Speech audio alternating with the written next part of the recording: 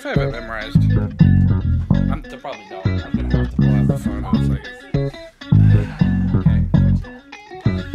I met this guy at 24 years old. The thing I love most, he has so much soul. I said, Excuse me, little homie, I know you don't know me, but my name is Tony, and I like to melt cheese. And from that point, I knew the guy to call for my semi greasy fast food burrito haul.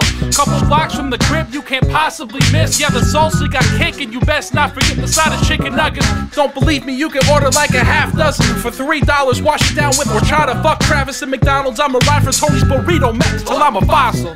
Uh, who's the best? Tony's Burrito Mex. Who's the best? Tony's Burrito Mex. Who's the best? Tony's Burrito Mex. Who's Tony's Burrito Mex.